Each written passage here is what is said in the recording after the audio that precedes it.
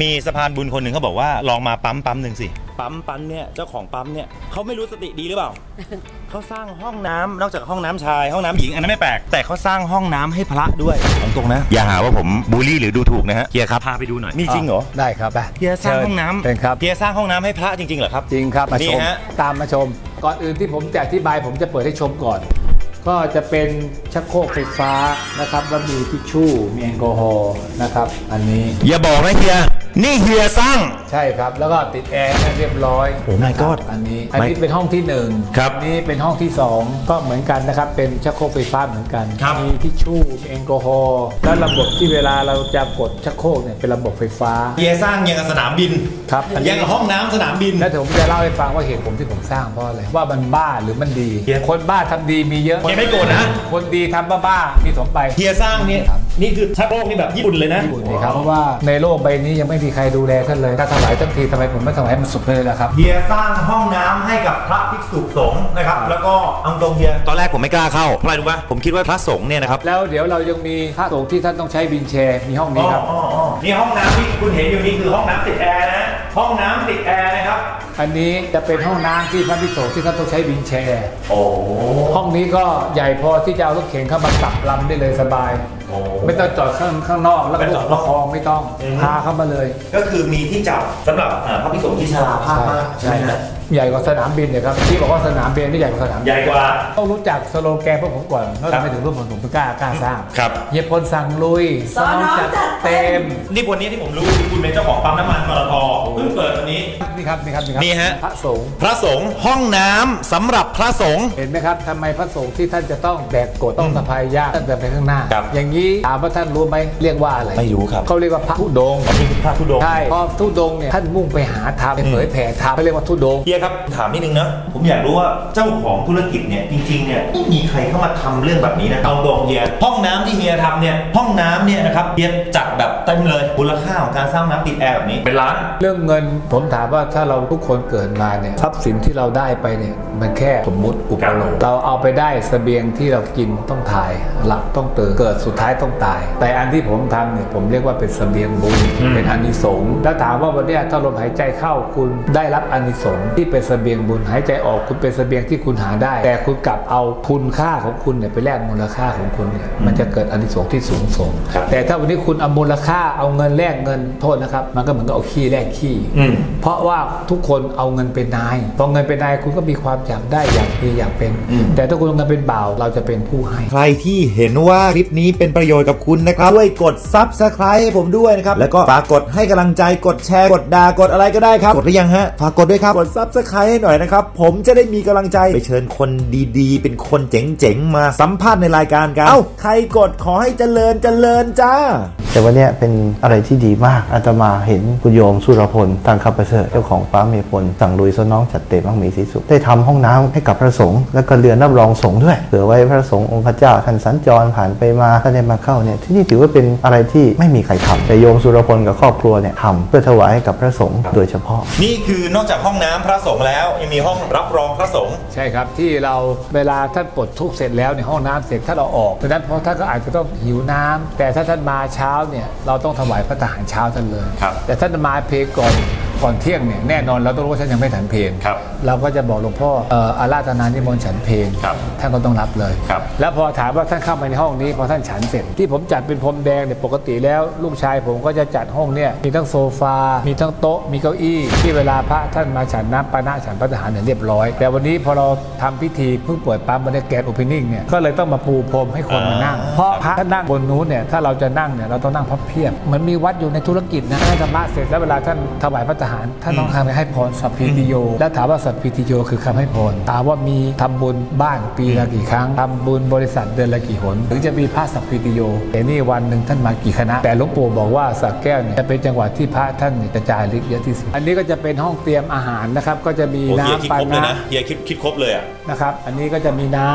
ครับำแล้วก็จะมีน้ำปานะครับแล้วก็จะมีกาแฟร้อนมี เครื่องต้มน้ำร้อนเรียบร้อย ทุกอย่างมีครบหมด แล้วก็จะมีอาหาร อาหารในวันนี้พระมาหลายรูปถวายหมดเลยอ๋อก่อนหน้านี้ผมถามนิดนึงธุรกิจของเฮียจริง ๆ แล้วอะก่อนจะปั๊มน้ำมันคือขายมอไซค์ขายมอไซค์รถจักรยานยนต์ฮอนด้าผมถามนิดนึงขายมอไซค์เห็นว่าคนซื้อมอไซค์ก็ได้บุญใช่เราก็ได้บุญถูกเพราะว่าเวลาลูกค้าซื้อรถเนี่ยเราจะให้ลูกค้าเนี่ยรับเงินทำบุญคันครัละบ300 บาทนะครับซื้อรถมอไซค์กับเฮียมาซื้อที่ร้านเฮียครับออกคันหนึ่งการเงิน 300 บาท แล้วก็จะมีฝ่ายขายเนี่ยพา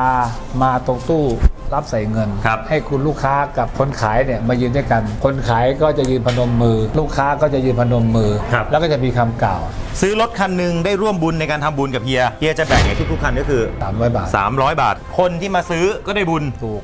ถ้าวันนี้เราไม่เชื่อว่าสิ่งศักดิ์สิทธิ์มีจริง การบังเกิดเป็นคนเนี่ยอืมมันจะต้องผมมี3หนึ่งศักดิ์ศรีศักดิ์เซษศักดิ์สิทธิ์คนเรามีเกียรติข้ามตัวศักดิ์ศรีข้ามใจเห็นไหมครับแล้วเราจะมีศักดิ์ศรีแล้วเราจะมีศักดิ์เซษความสำเร็จอืมศักดิ์สิทธิ์แล้วก็มีสามอย่างเนี่ยคุณจะไปถึงไหนแล้วครับผมไม่เคยได้ยินคำนี้เลยนะ แล้วคำนี้คลาสสิกมากอ่าศักดิ์ศรีคนเกิดมาต้องมีศักดิ์ศรีใช่ป่ะสักเซสสำเร็จและสุดท้ายคือศักดิ์สิทธิ์ที่เอาจากไหนก็นี่ไงหัวใจของเราเอาตรงนะผมถามจริงสามีของคุณเนี่ยเป็นเศรษฐีใจบุญคุณก็ไม่เคยห้าม เคยมีไหมเคยห้ามไหมบอกว่าไปทำอะไรเยอะแยะ คืออย่างนี้อะไรที่เราคิดว่ามันเป็นสิ่งที่ไม่ได้เสียหาย ครับ แล้วมันก็ทำให้มีความรู้สึกดีต่อจิตใจก็จะไม่ได้ห้าม อาจารย์ครับผมถามนิดนึงในฐานะที่เป็นพระสงฆ์เนะครับ การที่จะต้องเข้าห้องน้ำหรือว่าไปปลดทุกข์เนี่ยครับเป็นเรื่องลำบากไหมครับอาจารย์ ลำบากนะเอ่อเราถือวิสัยแห่งสมณะเนี่ยต้องสำรวมอากับกิริยาทุกอย่างแม้กระทั่งการจะยืน จะเดินจะฉัน หรือแม้กระทั่งเรื่องที่เราไม่ค่อยได้ใส่ใจกันคือเรื่องการเข้าห้องน้ำของพระสงฆ์อันนี้ก็เป็นเรื่องสำคัญ สิ่งที่พระอาจารย์เจอ เพราะอาจารย์พระอาจารย์ต้องเมตตาไปตามที่ต่างๆทั่วประเทศอ่าเวลาเดินทางเดินแบบไหน ก็อย่างสมมุติว่าถ้าพระเดินทางไกลๆเนี่ยนะไปปฏิบัติศาสนกิจบางทีก็ง่ายสุดก็ปั๊มน้ำมันอาตมาก็ต้องเข้าห้องน้ำรวมกับคารวะเพราะแต่ละปั๊มเขาก็ไม่ได้มีสถานที่อย่างนี้ไว้ผมขอดูห้องน้ำก่อนดูนี่ก่อนดูนี่ก่อนแค่เอามือรองน้ำไหลไม่ต้องเปิดก๊อกแรงไหมล่ะลูกชายผมใช้ปั๊มตัวใหญ่ ปั๊มอื่นเขาก็ทำแบบเรียบง่ายธรรมดาเพราะปตทจริงๆสะอาดอยู่แล้ว แล้วก็เรียบง่ายไฮโซที่สุดอยู่แล้ว แต่คุณทำยิ่งกว่าเดิมอีกเพราะว่าผมบอกแล้วไงว่า เรามีอยู่ 3 อย่างที่ต้องอยู่เหนือเสียนเหนือเก้าวบุญคุณ ผู้มีอุปการะคุณกตัญญูกตะเวที่คุณอยู่เหนือเสียนเหนือเก้าวคุณคิดว่าคนที่เข้ามาเขาแค่คิดมาขี้มาเยี่ยว แต่ถามว่าคนที่เข้ามาใครที่เข้ามาในห้องน้ำเราอืมก็คือผู้มีนุษย์อุปการะผู้มีคุณอุปการะคุณของเรา แล้วครัก็บไม่รักเขาอะเราจะแค่รักจริงหวังฟันรักกันฟันแล้วทิ้งคุณได้ละคิดว่าคุณได้เงินมาจบไปแล้วช่างมันแต่ของผมไม่ใช่เฮียเขาบอกว่าเวลาลูกบ้านเข้ามาอะเฮียกำชับว่าไงอ๋อเชิญค่ะคุณลูกค้าเชิญบริการห้องน้ำนะคะเฮ้ยน้ำมี2อสามระบบให้ใช้นะคะ คุณดูฮะนี่มีมีเป็นปริ้นแบบนี้มา แนะนำลูกค้าด้วย ผมอยากรู้ว่าปั๊มเนี่ย ก็ปตทก็เหมือนปั๊มอื่นนะ แต่มันพิเศษตรงนี้ นี่คือจุดหัวใจายปั๊มปตทของเฮีย สวัสดีครับ นี่ วันนี้มาใช้บริการกี่นี่กี่ครั้งแล้วครับ ครั้งแรกค่ะ เป็นยังไงบ้าง ผมอยู่กลางใจเมือง แต่ผมขออนุญาตอยู่ในกลางใจคุณนะ ไอ้เหี้ยนะครับ โอ้โหยังไงไปไหนไม่ได้แล้วนะครับค่ะ อ่าคุณเติมน้ำมันแล้วคุณได้ข้าวหอมมะลิด้วยเติมเต็มถัง อิ่มเต็มท้องข้าวหอมมะลิพลหูขึ้นหม้อกินติดปากอร่อยติดใจ คือเฮียไม่ได้ทำขายนะทำมาแจกให้ลูกค้าเขาเป็นเจ้าของปั๊มที่ใส่ใจ เขาไม่ได้เลยในเรื่องระเบียบการบริการเนี่ยเขาจะต้องมีบทอืมมีคำพูด ต้องแบบนี้แล้วทำท่าสอนเด็กอืมอืมทุกสิ่ง ซึ่ง เขาขายเองถูกไหมใช่ เหมือนเขาขายเองเหมือนบริการใช่เองใช่ เพราะว่าถามตัวซอเองซอก็ชอบคนบริการ อืมอืมไม่ว่าเราจะคิดเงินเขาหรือเราจะให้อะไรสอนกับลูกน้องตลอดว่า อืม ทุกอย่างคุณต้องมีความนอบน้อม ต้องให้เกียรติลูกค้าพูดจาต้องดีการค้าขายมันถึงจะดี รถมอเตอร์ไซค์สามล้อสี่ล้อหกล้อสิบล้อ หรือถ้ารถถังมาก็หวันดีนะ แล้วนี่ไงลูกค้าถึงเติมไม่อยู่ เออจริงว่ะเพราะเขาไม่เติมสิเขาไม่เคยมีการที่ให้ความรักเขาขนาดนี้ทำไมเขาขี่สามล้อมาทำไมจังหวัดดีเขาไม่เลือกเลือกผู้ร่างมากดีเศรษฐียาจก ไม่มีจนรวยไม่เลือกไหว้ไหว้หมด ต้นทุนเราไม่ได้อยู่ที่เงิน ต้นทุนเรามีอยู่หนึ่งต้นทุนชีวิตคุณ ต้นทุนชีวิตลูกค้า ต้นชีวิตลูกน้อง สิ่งหนึ่งที่เราได้ฟังธรรมจากหลวงปู่นี่ไงมันก็เรากินอาหารแต่ละอ๋อคำแต่ละคำเนี่ยหลวงปู่ทองใบท่าน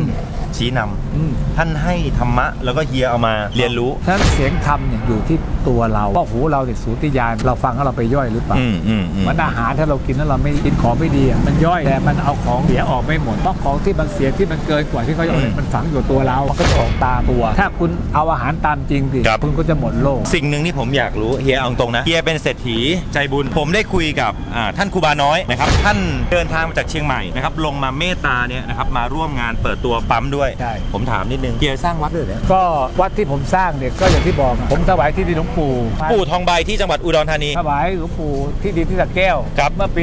2515อ่าตอนนี้เป็นวัดสาขา ชื่อศูนย์ปฏิบัติธรรมอนุตตรธรรมาราม ครับ แล้ววันนี้ บนแผ่นดินนี้คุณทำได้กี่อย่างแล้วล่ะอืมวัดคุณก็สร้างอืมธุรธรรมนำธุรกิจคุณก็มีแล้วอานิสงส์อะครับ ลูกหลานเหลนหลนผมถึงหมด อันนี้เรื่องจริง เราทำธุรกิจเราต้องยอมรับก่อนว่าวิชาชีพที่หล่อเลี้ยงสัมมาอาชีพที่หล่อหลอมทำยังไงที่คุณจะหล่อให้กายคุณไปทองให้สมองคุณมีธรรมแค่นั้นเองเพราะวิชาชีพมันหล่อเลี้ยงแล้วให้คุณได้ได้มีได้อยากได้ยิน แต่สัมมาอาชีพมันคือสัมมาอาชีพที่คุณจะต้องมีคุณธรรมศีลธรรมและจริยธรรมแล้วทำยังไงที่คุณจะหล่อหลอมให้กายคุณเป็นทองให้สมองคุณมีธรรมเฮียผมถามนิดนึงบุญมีจริงเหรอ จริงสิครับ บุญเนี่ยเราทำไปแล้วเนี่ยมันได้ย้อนกลับมาจริงเหรอ บุญเนี่ยเราไม่สามารถจับต้องได้แต่การสั่งสมกับการสะสมเนี่ยมันต้องเกิดขึ้น ครับ แต่คุณจะเหมือนเอาเงินไปซื้อตามเซเว่นบุญไม่มีขายนะ บุญไม่มีขาย ไม่มีขายอืมใช่ไหมครับ เพราะว่าการสั่งสมบุญเนี่ยมันอยู่ที่เราว่าเราทำไปเนี่ยทำบุญทำทานทำจริงสามทำแต่นี่คือภาษาไทยทำบุญทำทานทำจริงทำบุญนี่อยากได้ทำทานนี่อยากเห็นทำจริงนี่อยากเป็นแต่เพราะการทำจริงของคุณเนี่ยมันอยู่ที่ว่าคุณเอาเงินที่คุณลงทุนน่ะอืมมันอยู่ในวิชาชีพสมาชีพ คุณอยู่ในความพอดี คุณธรรมศีลธรรมจริยธรรมไหมถ้าคุณอยู่สามทำบุญเนี่ยคุณถึงทำทานเนี่ยคุณเห็นแน่นอนฝากนี่ครับให้ครูบาน้อยช่วยบอกทั้งครอบครัว ที่เป็นตัวอย่างนะครับครอบครัวเฮียพลและครอบครัวที่ให้ทั่วประเทศ คือธุรกิจธุรธรรมต้องมาพร้อมกันก็อย่างครอบครัวของโยมสุรพลตังคำประเสริฐเนี่ยเขาก็มีแต่ให้นะชื่อเฮียพลซ้อนน้องเนี่ยมีแต่ให้จริงๆ ทุกวันเนี่ยก็จะเห็นภาพอย่างที่เราเห็นกันอยู่ว่าเขาประสบความสุขความสำเร็จในธุรกิจการงาน เพราะว่าเขามีการเจริญรุ่งเรืองด้วยการเอาธรรมะนำชีวิตธรรมะนำธุรกิจก็อยากฝากไปถึงญาติโยมสาธุชน ให้ลองเอาแนวคิดตรงนี้ไปประยุกต์ใช้กับธุรกิจการงานของพวกท่านทั้งหลายเผื่อว่าโยมจะมีความสุขความสำเร็จความร่ำรวยความมั่งคั่งเหมือนครอบครัวตังคำประเสริฐนี้อาตมาก็ขออำนวยพรฝากไว้เป็นข้อคิดเป็นคติธรรมจ้ะสาธุสาธุเออเอาเจริญพรเจริญพร